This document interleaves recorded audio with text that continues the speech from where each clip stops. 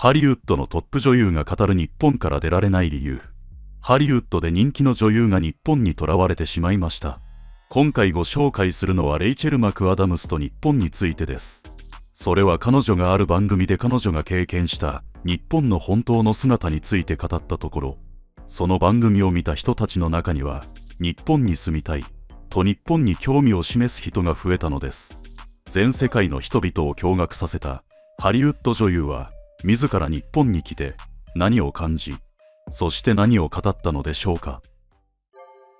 レイチェル・マクアダムスの輝かしいキャリアと私生活。カナダ生まれのレイチェル・マクアダムスは、1998年にディズニー映画でスクリーンデビューを果たしましたが、2002年のホットチックでのハリウッド入りから真の注目を浴びました。彼女はすぐに演技力を証明し、2004年にはミーンガールズでの学園の女王レジーナ役や君に読む物語での感動的なヒロイン役で称賛を受けました。2005年以降レイチェルは映画界での地位を確立。ウェス・クレイブン監督の「パニック・フライト」やコメディ「ウェディング・クラッシャーズ」そして「幸せのポートレート」に出演しました。彼女の実力はシャーロック・ホームズシリーズでの魅惑的なアイリーン・アドラー役にも現れシリーズは10億ドル以上の興行収入を記録しました。その後も「君への誓い」や SF 恋愛映画「アバウトタイム愛おしい時間」についてでの主演をはじめ多岐にわたる作品での演技を続けさらなる評価を受けました。特に「アバウトタイム愛おしい時間」についてでは監督から彼女はどの作品でも素晴らしい演技を見せてくれる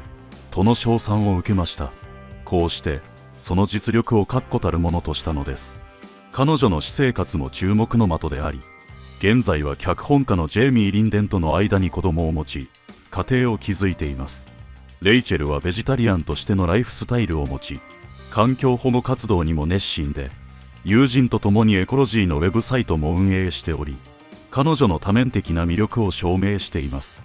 そんな彼女がなぜ日本にとらわれてしまったのでしょう。レイチェル・マクアダムスと日本の出会い。冒頭でお伝えしたようにレイチェル・マクアダムスはある番組で驚きの発言をしました。彼女は休日があると日本を訪れ日本でのんびり過ごしていると言ったのです。彼女の話を聞き一緒に番組に出ていた人たちは驚いていました。アメリカから日本に行くには非常に遠いからです。司会者の男性が日本は住みやすい国だとは聞きますがアメリカからは遠すぎませんか？それなのになぜ休暇の旅に日本を訪れるのでしょうか？と質問しました。レイチェルはその質問を聞き実は日本に興味を持ったきっかけがあるんです。と回答しました。そして彼女は過去に地震に起こった日本人カップルとの出会いについて話し出しました。彼女がベンチに座っている時デート中の男性が彼女に近づいてきました。その様子を見てレイチェルはサインを求められると思いおもむろに自分のカバンの中に入っているペンを探したのです。しかし近づいてきた日本人男性はレイチェルに道を尋ねるために話しかけてきたのです。レイチェルはその状況に驚きましたが平常心を装い男性に道を教えると恥ずかしそうに笑いながらペンをカバンに戻したそうです。この時の様子はパパラッチがカメラに捉えており当時世界中の人々の注目を浴びたのです。レイチェルはこの時の様子を最初は驚き自分の行動がとても恥ずかしくなりました。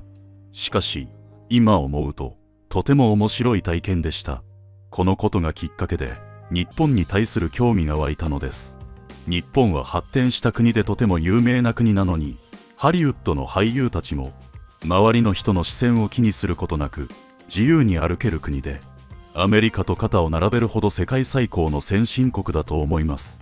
そんな日本に行ってみたいと思ったことがきっかけなんです。と意外なところから日本に興味を持ったことを話しました。小さな事柄ですがこのように日本人と接したことによって興味を持った日本。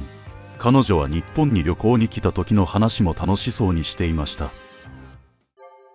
レイチェル・マクアダムスが語る日本の魅力。彼女は初めて日本旅行に行った時の話も語りました。初めて日本を訪れて思ったのが日本は思っている以上に美しい国だったということです。パパラッチもいなく日本人の皆さんは外国人に対して親切だったのです。そして私が一番驚いたのは東京のインフラです。ニューヨークと比べても全く引けを取らない素晴らしい設備を持っていました。そして美しい自然を大切にしている都市でもあります。文明と自然が共存するそんな感じを受けました。と東京に対してのとても高い評価を述べたのです。彼女の発言に対して司会者の男性は東京が美しい都市だということはとても有名な話です。そのことについては視聴者の皆さんもご存知だと思います。しかし日本の周辺には韓国や中国など他にも発展した都市が多いと思います。それなのにどうして何度も日本ばかり訪れるのですか？とレイチェルの日本への熱烈な思いに疑問を投げかけました。レイチェルは私も中国や韓国は訪れたことがあります。韓国の人々は外国人に攻撃的に接する感じがして人々が少し不親切な印象を受け中国は韓国とは違い外国人を見る雰囲気が少し過剰で中国人の中には私のスカートの下を取ろうとする人もいてとても不快だったのです。もちろん中国も韓国もいい国だとは思います。しかし個人的には日本が一番居心地がいいと感じたのです。と韓国や中国より日本がレイチェルにとって過ごしやすい国だったと話したのです。彼女の発言にネット上ではこのような意見が上がりました。レイチェルが中国を日本より下と言って侮辱したのでもう彼女の映画を見ないという人や韓国人が不愛想なわけではない日本人が過度に親切すぎるのだという人など中国人や韓国人の中には彼女の発言をよく思っていない人もいたようです。逆に彼女の発言を聞きもともと日本に興味はあったけど彼女の発言を聞きさらに日本に行きたくなったという人もいたのです。さらにレイチェルはとても驚くことを発表しました。彼女は東京に家を購入したというのです。一体東京の何が彼女をこんなに虜にしたのでしょう？彼女は言います。日本は訪れるたびに新鮮な国です。四季がはっきりしているので日本の夏と冬では景色が全く異なります。このような体験を続けているうちに日本に休暇の時に過ごす場所を用意するのも悪くないなと思うようになりました。映画の世界から引退したら日本にずっと住むかもしれません。と日本に家を用意しさらに今後移住する可能性もあるということまで語ったのです。彼女の発言を聞きネット上では日本に家まで買うなんてレイチェルの日本愛は本物だ。他のハリウッド俳優も日本を評価していた。ハリウッド俳優の中で日本で生活するのが流行っているようだ。など日本への興味を示したのです。実際にアンジェリーナ・ジョリーなど東京に家を借りたり購入する人は増えています。パパラッチがいないという点もハリウッド女優たちには魅力的なようです。さらにレイチェルが日本人の人柄がきっかけで日本に興味を持ったように日本人の相手に思いやりを持って行動をするという親切心や細かな心遣いは世界でも知られており外国人に対してもおもてなしや心遣いは大切にしています。日本旅行に来た外国人の中には日本でお店に入るたびに「いらっしゃいませ」と声をかけられることに驚き感動したという人もいます。私たちにとって当たり前に行っている挨拶でさえも海外の人たちにとって新鮮で感動するおもてなしの一つなのです。また子供が一人で学校へ登下校したり夜道を一人で歩いていても他の国に比べて事件が少ないのも特徴的で安心安全に暮らせる環境というのもハリウッド俳優たちが日本に住みたくなる理由の一つかもしれません。いかがだったでしょうか？日本の魅力に取りつかれ日本を愛し日本に移住まで決めた